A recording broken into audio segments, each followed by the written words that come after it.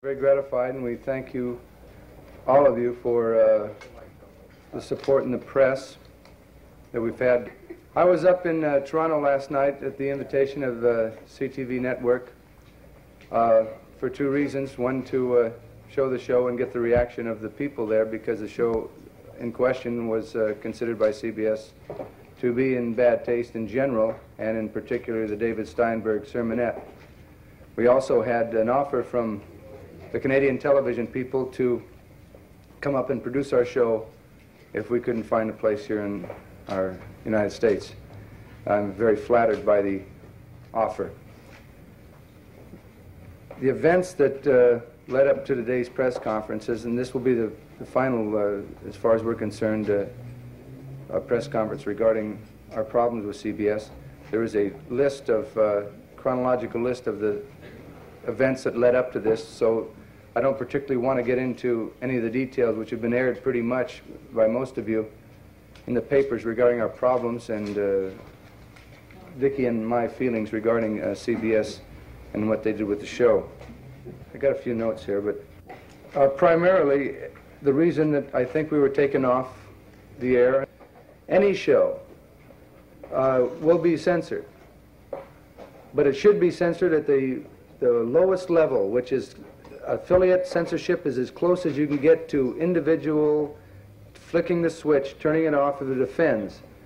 We know that if we are at the hands of the affiliates, we will get a better shot that there will be at least only 15% of the affiliates who, re who reject anything that we have to say in that area.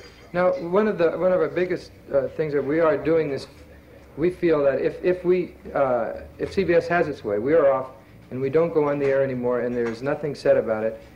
Well, that's fine. The show or that the money doesn't matter. It's that nobody else will come forward. There's no one in the business trying to do anything that steps out or say anything. The precedent will be set the, the, that you cannot do it. It's a no-no, so nobody will try it. And so television will, will not have the, uh, the, uh, the uh, energy to do it, and they won't have the opportunity to do it.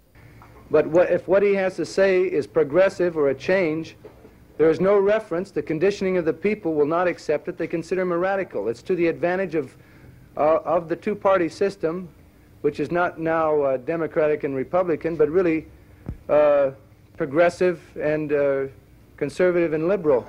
The liberal point of view is not put onto television. It hides all issues so that the people in the Midwest or some areas that aren't in urban areas get no reality of the actual facts the problems of the black people, the problems of the young people, is never reflected in television. It has to be. Just because it's unpopular, it has to still be said. Prime, the prime uh, philosophy of, of our show is not to have hey. quite as much.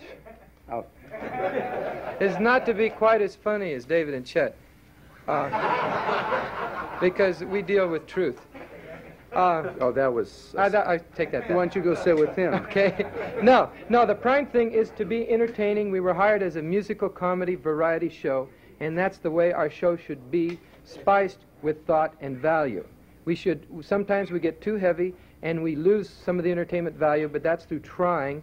And you have so many shows to do. You have five days to do them, so you'll miss once in a while. But we want to entertain first and have something of value to go along with it.